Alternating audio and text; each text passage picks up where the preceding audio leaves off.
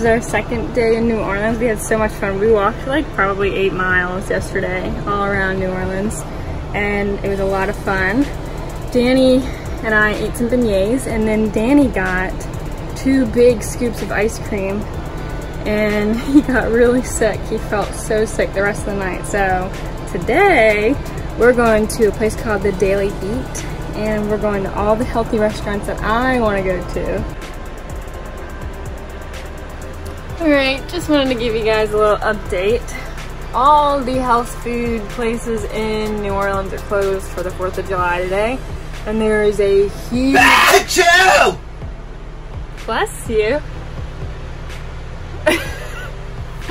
There's a huge festival going on. Like, Michelle Obama's in town. Achoo! Stop. That was fake. So we think that we're gonna go to the grocery store and get some good food and grill right outside of our camper instead of going into town because it's super crowded and nothing's open. So we're gonna celebrate the 4th of July with Beasley and Gary as a couple. Gary's already red. Gary's already what? Red. Yeah, Gary's dressed up. We don't have any patriotic clothing, but I'm gonna make some really good patriotic food.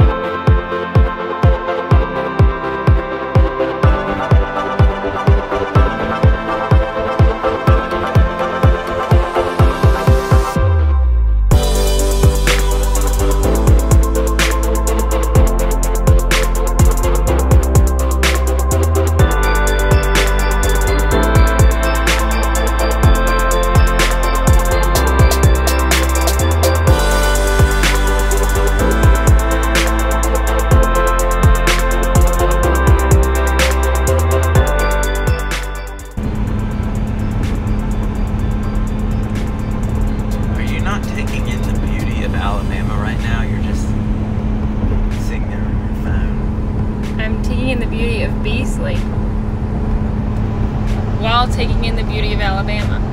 Thank you very much. Hey! Hi, sweetheart. You're so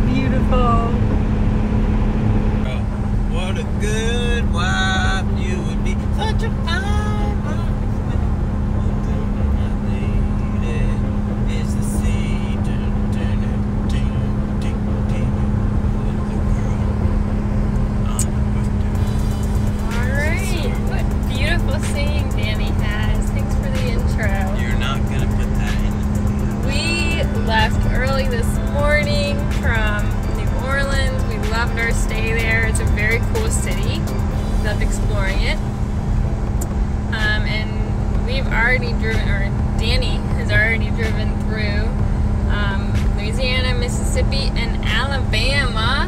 And we are on our way to Florida. We're staying just outside of Destin, Florida tonight at a Boondockers Welcome House um, with this couple that has waterfront property and that Beasley could swim in their property. So I'm excited for that to our first stop in Florida. Gary loves this weather. It is hot and humid.